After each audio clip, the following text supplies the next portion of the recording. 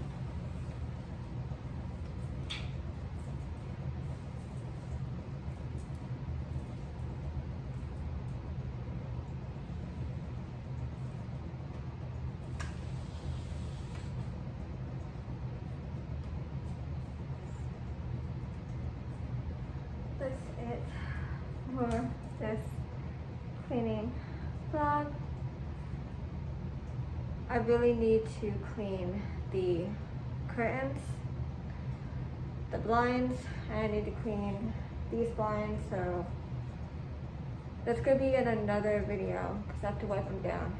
So it's gonna take a little bit longer. But thank you so much for your video request and there'll be a part two coming real soon. And maybe tomorrow I might do the outside windows. If I feel up to it and if it's not raining. So that's it for this video and I'll see you guys in the next time. Bye.